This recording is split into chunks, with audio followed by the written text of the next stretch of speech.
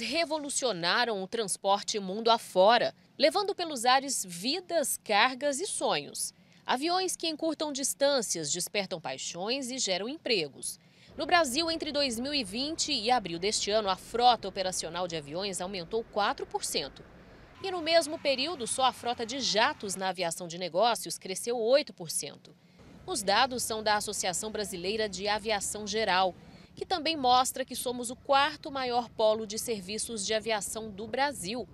Goiás fica atrás apenas de Mato Grosso, São Paulo e Rio Grande do Sul. O estado abriga 92 empresas de táxi aéreo, aviação agrícola e manutenção aeronáutica.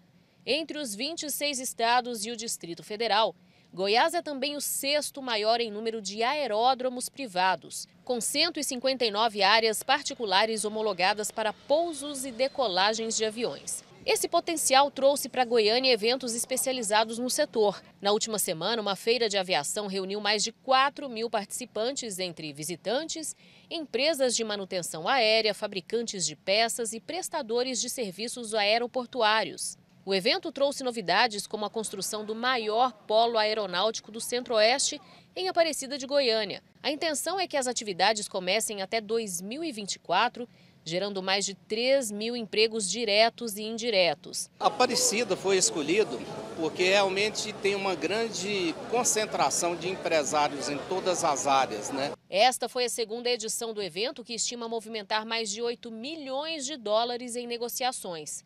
Por aqui é tudo tabelado pela moeda americana e encontramos aviões que podem variar de 200 mil a 10 milhões de dólares. Você tem o fabricante, você tem o broker, você tem empresas de prestadoras de serviço, a parte de seguro, a parte de trade, você tem empresas de manutenção, uma garagem. Você fala, ah, vou contratar um serviço em um outro estado, para São Paulo, não tem necessidade. Você tem todas as soluções aqui. Helicópteros, monomotores e bimotores, modelos retrô e lançamentos modernos de luxo estiveram em exposição para compra e venda. E eu vim conhecer a aeronave aqui pelo lado de dentro, muito confortável. Já estou aqui, ó, posicionada com cinto de segurança. E por que, que eu já coloquei cinto de segurança? É só para contar para vocês que aqui no cinto estão airbags. É uma empresa americana que é a fabricante que preza muito pela segurança. Então, além de vários itens, esse avião também conta com um paraquedas balístico. Aqui, ó, se a gente mostrar, o Isaíldo Santos vai mostrar aqui, é um painel que conta é, com todo esse, esse reforço na segurança para quem pilota, né?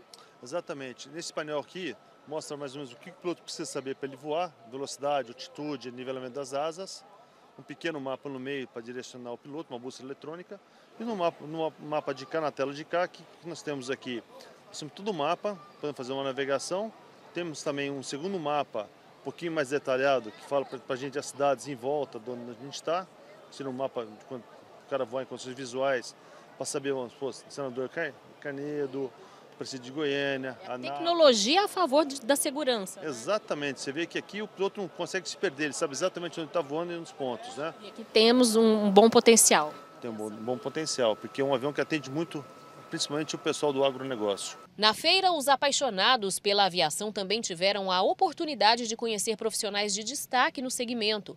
É o caso do piloto e fotógrafo Ricardo Beccari.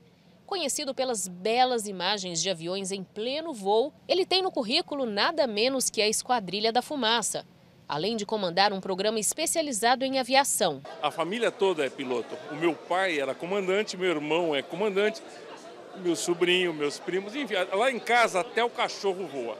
Carlos trabalha no setor de aviação, mas veio para a feira a passeio. Goiás é um, um, um focal point para aviação executiva, para aviação de pequeno porte, então isso acaba é, movimentando o mercado e trazendo mais empresas para cá.